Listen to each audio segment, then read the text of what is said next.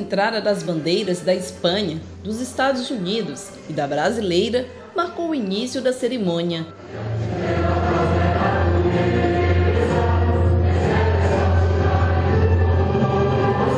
Houve oração em inglês. Of salvation and call upon the name of the Lord.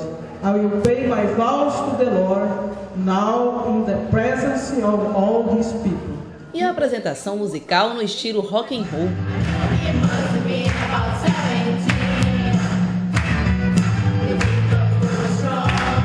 Foram com essas demonstrações que o CCE em Marabá pôde mostrar aos convidados os resultados do ensino ofertado pela Escola de Idiomas, que há 25 anos atua no município. 25 anos hoje, nós temos em torno de 250, quase 300 alunos.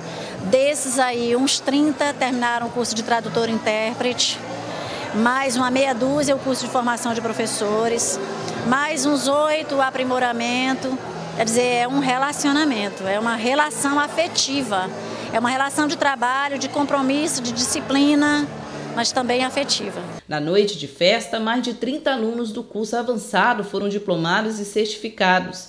Alguns fizeram parte da formação de professores, outros de tradutor e intérprete e ainda de aprimoramento de professor. Francimeire foi uma das diplomadas. Ela é jornalista e também professora de inglês. Agora alcançou um grau maior na língua estrangeira. Terminei os nove livros, que você termina o curso de tradutor e intérprete. Agora estou fazendo um curso que é conhecido como mais avançado. Você gostou do inglês? Tem mais quatro livros. Agora estou terminando. A, a partir desse curso que eu fiz foi quando eu tive vontade de ser professora e o pessoal do CCA me acolheu, então sou professora de CCA além do meu outro trabalho, né, que eu sou assessora de imprensa também. No evento, a direção do CCA também homenageou os professores mais aplicados e os alunos que se destacaram durante o ano, desde a primeira turma infantil ao último livro dos adultos. Convidados como Isabel Cristina Barbosa falaram da importância do CCA para o município. A empresária disse que os filhos já passaram pela escola. O CCE fez parte da infância dos meus filhos faz, e isso faz parte da vida deles hoje. Assim como os filhos, o empresário Reinaldo Zucatelli também estudou no CCE em Marabá. Ele observa que nos dias atuais Falar outros idiomas se tornou necessário e o CCAA se destaca no ensino de inglês e espanhol na cidade. É uma necessidade primordial, né? A gente que tem feito várias viagens internacional, a gente vê o quanto é difícil você estar em outro país e não saber é, plenamente a, a outra língua, né?